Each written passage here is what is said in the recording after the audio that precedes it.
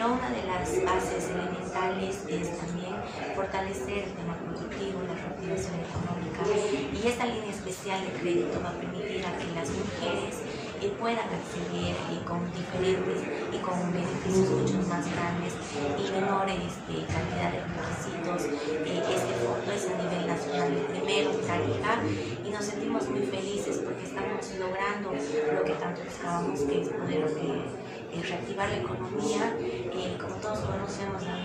De los departamentos con mayor índice de violencia, de feminicidio, y esta es una línea específicamente para poder reducir estos casos de violencia, para reducir la dependencia económica de las mujeres y de sus familias y que ellas puedan tener estas líneas de crédito para que eh, puedan emprender, inicien alguna empresa. Este, de hoy están diferentes mujeres de todos los municipios del departamento, está en Chará, está Benigno, está el Puente, eh, están varias, porque la idea es que sea de forma participativa.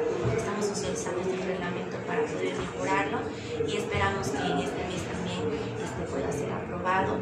Ya tenemos este decreto que, es una de las de los logros departamentales institucionales y que mejor tener este regalo para las mujeres por el Día de la ¿Qué hacer este?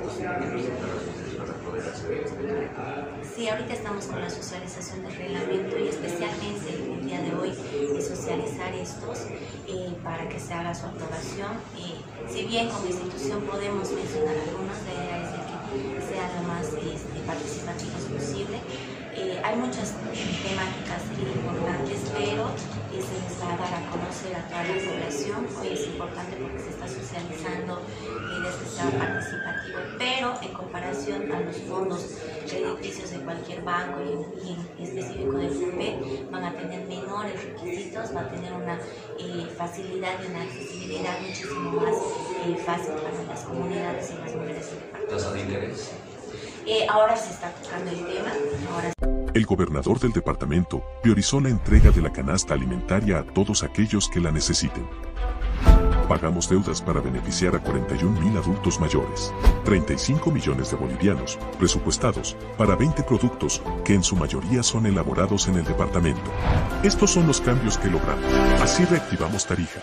Gobierno Autónomo Departamental de Tarija. Somos, la nueva generación de profesionales Inicio de clases, 8 de agosto.